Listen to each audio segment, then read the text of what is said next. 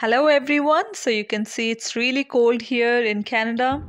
It's minus 11 degrees and look at the snow piled on the curbside. And this is just the beginning. It's going to get colder here. So I have decided to get some respite from the Canadian winter and visit some warm place. And living in Canada, the nearest option you have is the Caribbean countries. There are a number of Caribbean countries like the Bahamas, Dominican Republic, Mexico, Panama, and many more that offer warm weather. And it's just 4 to 5 hours duration if you take a flight from Toronto. And you don't need a visa to visit these places if you have a Canadian or US visa, Canadian or US permanent residency, or citizenship and these Caribbean countries they offer jaw-dropping scenic landscape. Look at the view.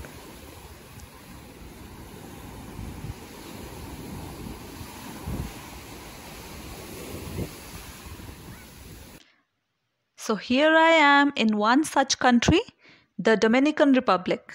So many people from around the country they come here, like people from Canada, US, and from many other countries especially to get uh, themselves tan. So during the winters, this is a very popular destination uh, because they get a lot of sun here and they enjoy uh, you know, sunbathing. They sit around the beach, um, they just lay there and they get their bodies tan because they love brown skin. So yes, this is uh, one of the reasons why many people flock to Caribbean countries uh, in this weather.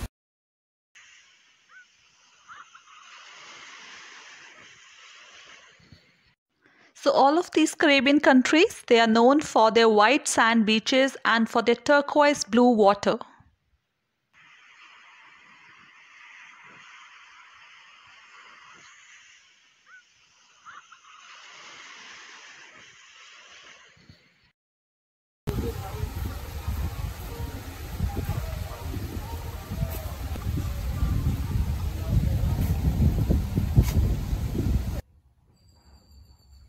So this one of the tourist destinations, it offers many affordable hotels and resorts close to seashore. So these resorts are all inclusive. Along with providing rooms and meals, they also offer many activities like snorkeling, horse riding, swimming with dolphins, cruise, and many more such activities.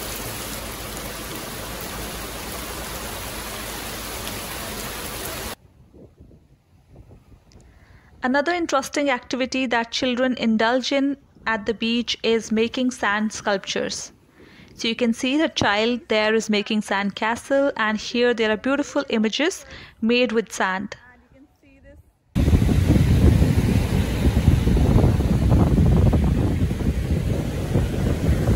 So you can see these beautiful creatures, octopus, fish, tortoise. So these are beautiful sand dunes made by children here.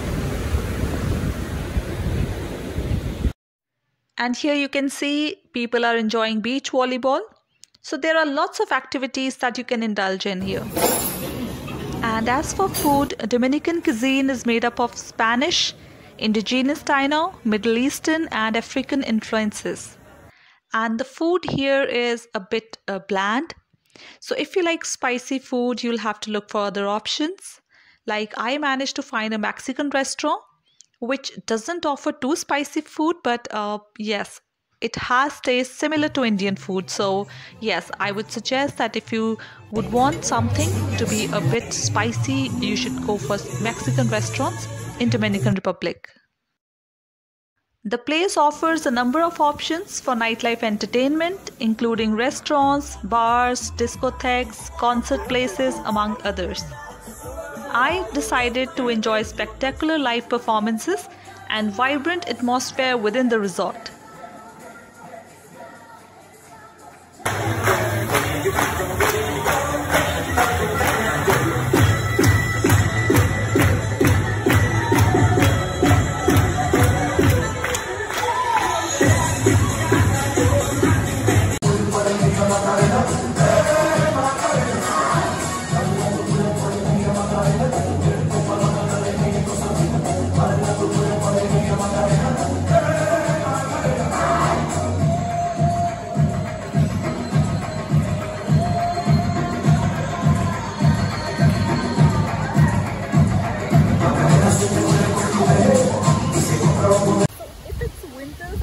to visit some uh, hot country, I would suggest uh, visit any of the Caribbean countries uh, because it would uh, you know assure you ample sunshine and you'll have beautiful beaches to see and white sandy beaches. So you would love it.